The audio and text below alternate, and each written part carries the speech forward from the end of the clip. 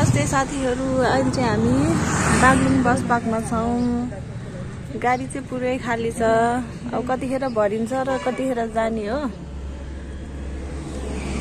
अहिले चाहिँ बिहानको पाउने आठ भएको छ हामी चाहिँ आजको यात्रा चाहिँ शिखसम्म त्यसपछिको यात्रा चाहिँ हामी अर्को ब्लगमा भन्छौँ है। कहाँ जाँदैछौँ भनेर। सरप्राइज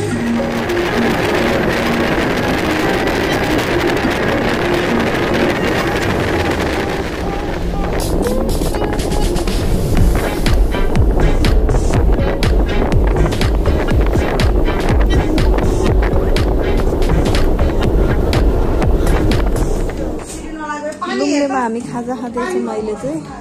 समोसा र अन्डा चना चिया चाहिँ आउँदैछ है।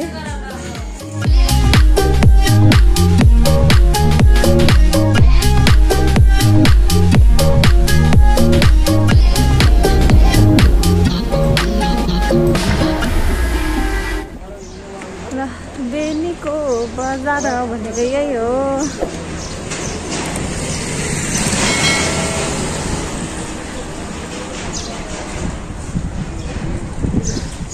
हामी चाहिँ यहाँ बेनी बजार घुम्दैछौँ एकछिन टाइम भएको भएर।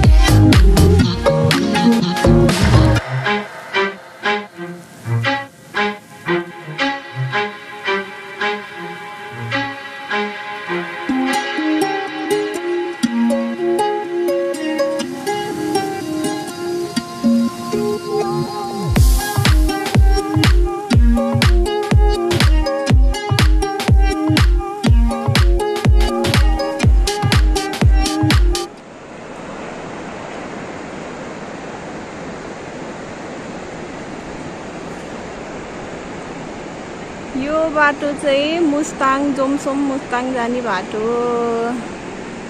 हामी चाहिँ यो बाटो भएर जान्छौँ। यो बाटो भएर जाने होइन?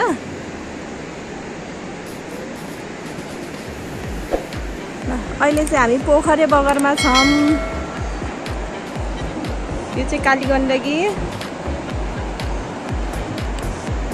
यो पोखरे बगरबाट चाहिँ जोमसोम मुस्ताङ जाने बाटो अनि यता सिख झारबाङ किन्दु जाने बाटोहरू छुट्टिन्छ है। यो बाटो चाहिँ जोमसोम मुस्ताङ जाने भयो। हामी चाहिँ यो बाटो जान्छौँ। यस्तो भिरालो बाटो छ हेर्नु साथीहरू। डर लाग्दो।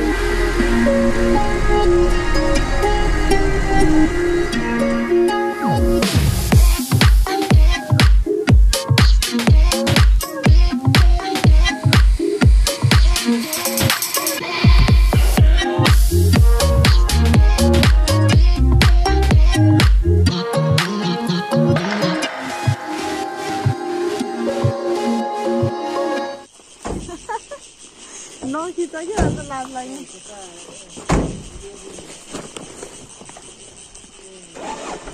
अब हामी चाहिँ अहिले झारबाङ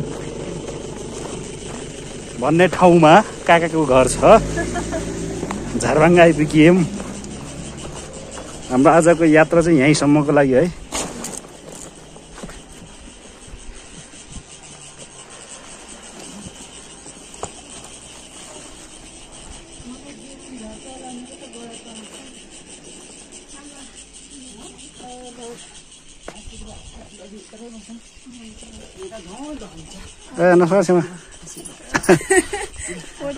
आउने होला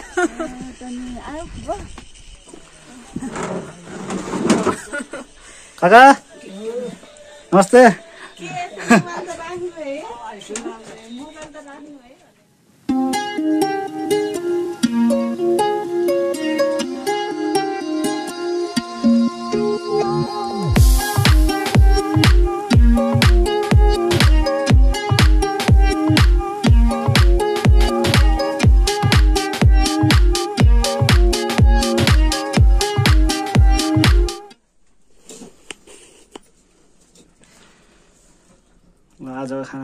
सोलिड मिठो होला त है।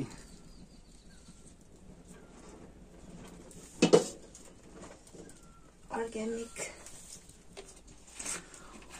अर्ग्यानिक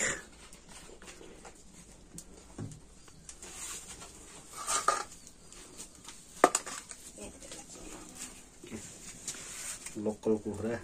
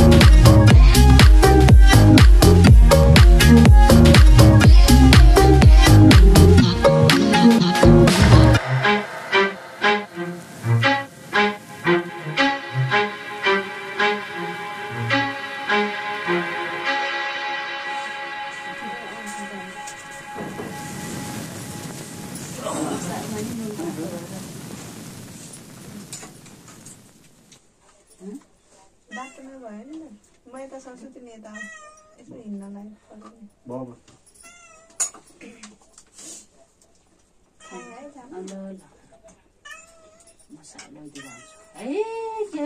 है नुन लाग्छ कि लाग्छ मसालामा म त उता खान्न थिएँ क्यारे।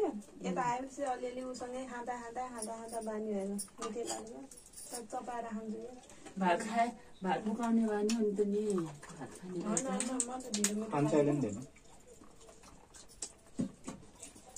चपाएर खाने भएर चाहिँ जिस्काउँछ नि। ढिलो नि चपाएर खान्छ।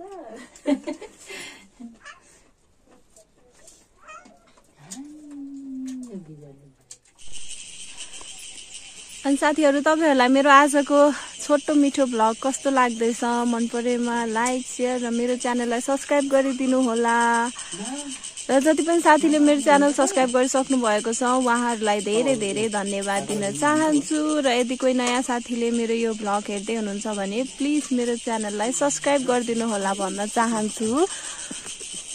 हाम्रो खासमा ट्रेक चाहिँ खोपराको हो तर अब डाइरेक्ट पोखराबाट खोपराको ट्रेकको एकैचोटि भिडियो हाल्दा चाहिँ धेरै लामो हुने भिडियो। अनि तपाईँहरूलाई हेर्न पनि अल्छी लाग्ला बोरिङ होला भनेर चाहिँ हामीले डे बाई डेको चाहिँ भिडियो अपलोड गर्दैछौँ गर्नेछौँ। आशा छ तपाईँहरूले मन पराइदिनु हुनेछ। अब डे बाई डेको भिडियो हाल्दाखेरि चाहिँ अब भोलि पर्सि हेर्दा हामीलाई पनि ओहो हामीलाई खोपरा पुग्न यति दिन लागेको थियो। यो दिनमा हामी यहाँ पुगेको थियौँ अर्को दिनमा यहाँ पुगेको थियौँ भन्ने पनि हामीलाई थाहा हुन्छ। त्यही भएर चाहिँ हामीले डे बाई डेको छोटो मिठो भ्लग चाहिँ राख्नेछौँ। आशा छ तपाईँहरूले हेरिदिनु हुनेछ मन पराइदिनु हुनेछ। भन्दै आजको यो छोटो मिठो भ्लगबाट चाहिँ हामी पनि बिदा हुन्छौँ। हेरिदिनु भएकोमा धेरै धेरै धन्यवाद।